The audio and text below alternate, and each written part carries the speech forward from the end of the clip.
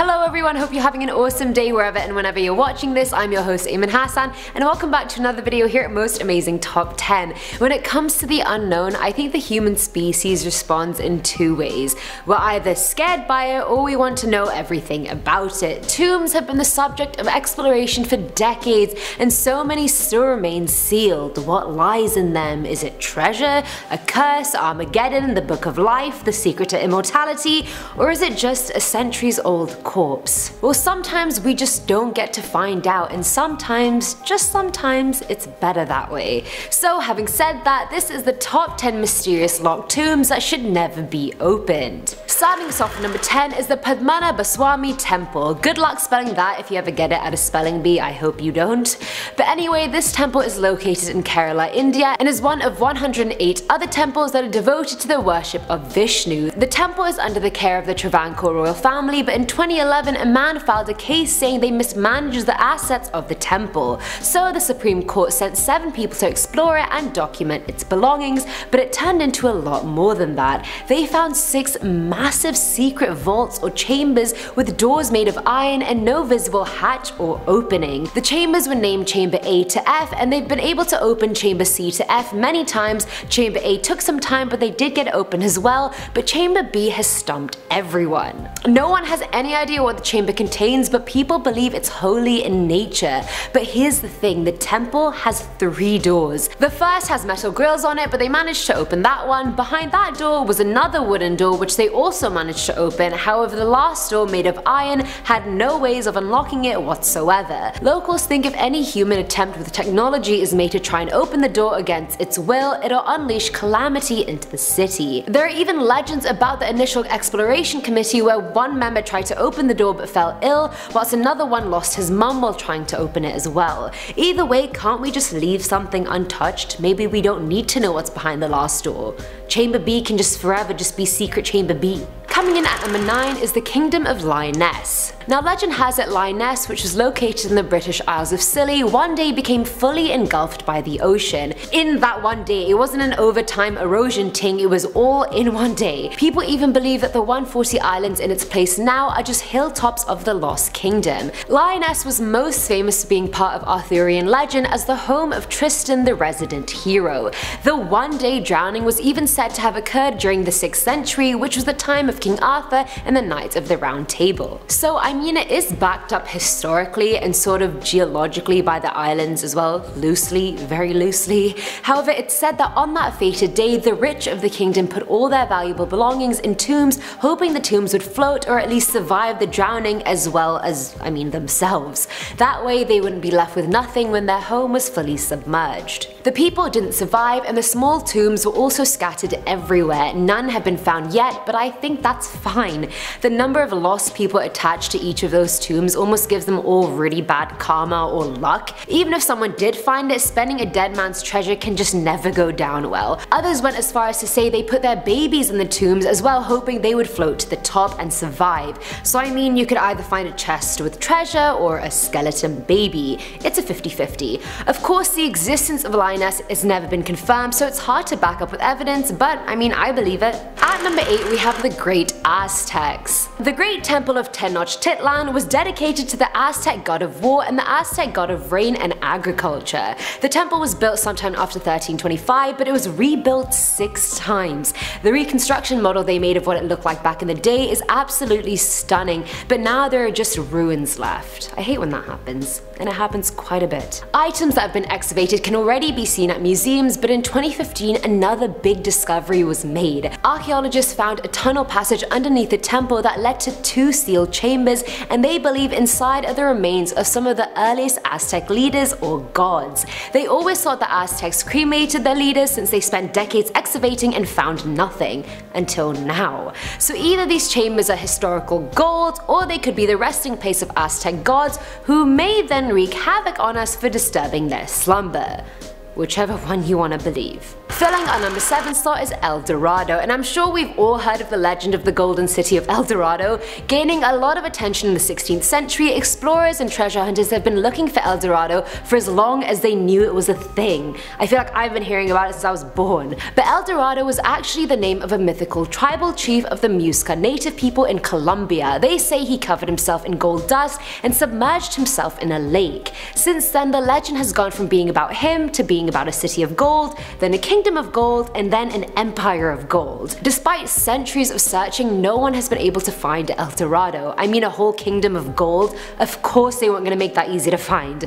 Many speculate El Dorado, the chief, wasn't that mythical at all. They believe his tomb is the key to El Dorado. People have spent so long searching for the kingdom itself, they forgot where it all began. The man himself.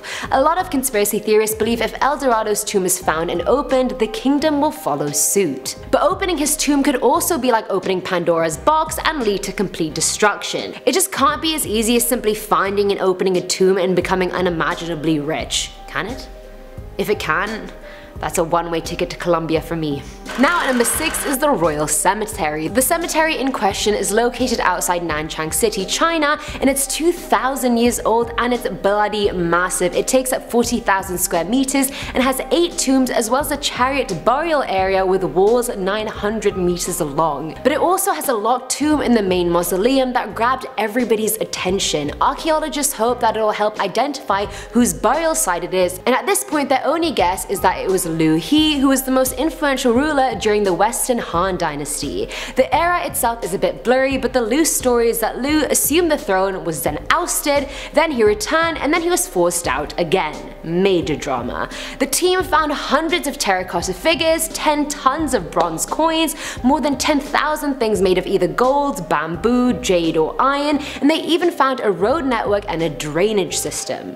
It sounds like these people were building a mini city, not just a burial site, which, you know what, do you. Either way, from the amount of valuables they already found there, is there really a need to open the locked tomb? If the guy went to this much effort to make his deathbed like this, I think we should just let him lie in it. Just let him, let him be.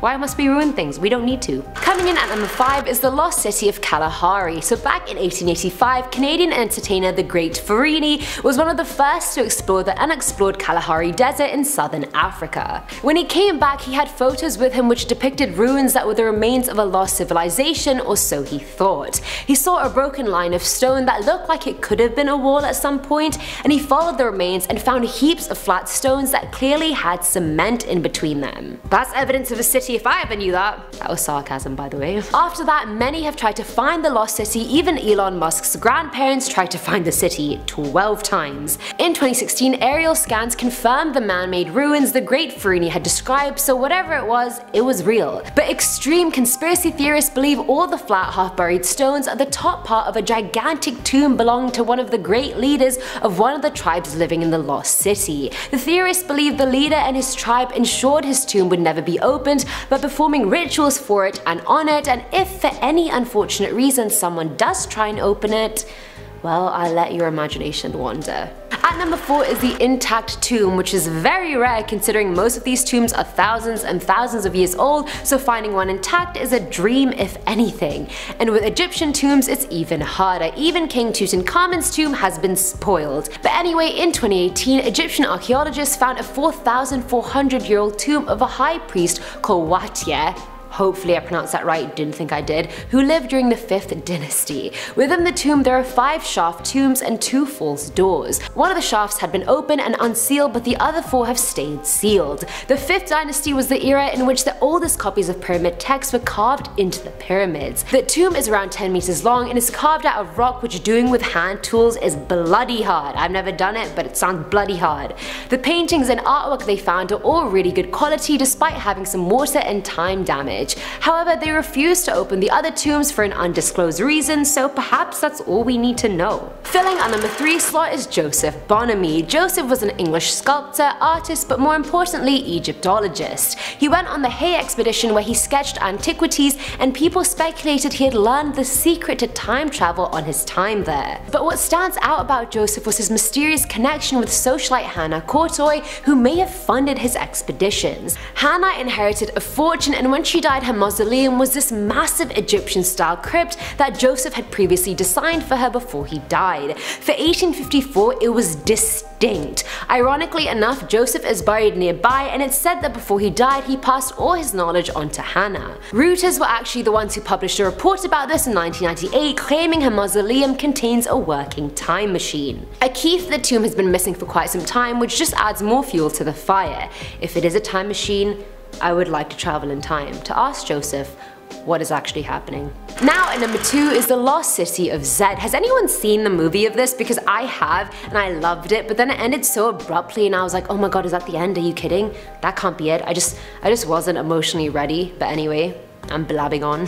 British surveyor Colonel Percy Harrison Fawcett believed this indigenous city existed in the jungle of Mato Grosso, Brazil, and he decided to call it the Lost City of Zed. He based his belief on his own exploration of the Amazon River as well as histories of South America that he had read. He never did find the Lost City in the end and him and his son actually died trying. Many people believe that the indigenous people living in that area know exactly where the city is and how to get to it but they've made it their life mission to stop outsiders from getting in or finding the entrance. Many believe they're guarding one of their ancestors' tombs which lies inside of the lost city. Others on the other hand believe it may even be Colonel Percy's tomb. Either way, if that many people are trying to stop you from finding something, odds are there's a good reason for it. And finally, at number 1 is Atlantis. Not the luxury hotel resort and water park, the underwater lost city. Plato first mentioned Atlantis in 360 BC and it was meant to be an insanely powerful kingdom with technology more advanced than ours and an unmatchable navy. Fast forward around 9600 BC, a terrible disaster hits and the island sank into the sea never to be seen again. Many teams have tried to find Atlantis over the years, notably a man called Simcha Jacobovici, hopefully I said that right, who dove into the Mariana Trench. And all he found was six Bronze Age stone anchors near Spain which seem to have come from a civilization existing 4000 years ago, which is still way off when Atlantis existed. But many people believe because their technology was so advanced, they found a way to disappear to us, but still exist by themselves. Perhaps they cracked the code to living completely underwater as humans, and that's what they've been doing since 9600 BC, who knows. Plato never clarified how advanced advanced actually was. Many people believe an underwater tomb belonging to one of Atlantis' early leaders is the entrance to the hidden kingdom. But do we really want to find it? What if they advanced even more being hidden away all this time? What if they've developed weaponry to face anyone who accidentally finds this tomb and exposes them. What if they're strong enough to take us down? I don't have any more what ifs. Should we really be seeking our demise? I think not. And I think you should agree with me. Thank you. And that's it for today's video guys. I hope you now know why there's really no point opening these locked tombs, but there's also no point in me even saying it because half of them haven't even been found yet. Let me know what you guys thought in the comments below, and as always, I'm your host Ayman Hasan, and I'll see you next time. Bye!